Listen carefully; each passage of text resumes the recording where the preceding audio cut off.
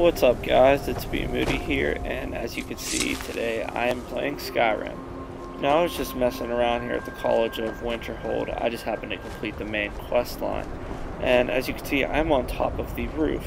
So, as anyone would do, I was just messing around to try to see if I could jump off and survive.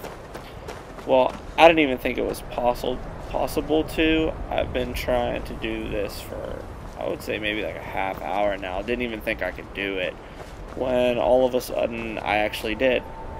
Now, I tried Googling people doing this, YouTube. I don't think anyone even knows this is a thing. that You can do this. I've seen people jump off smaller ledges, but not all the way from the top.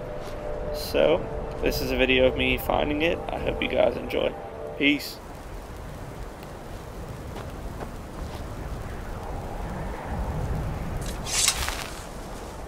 こうしてこれだ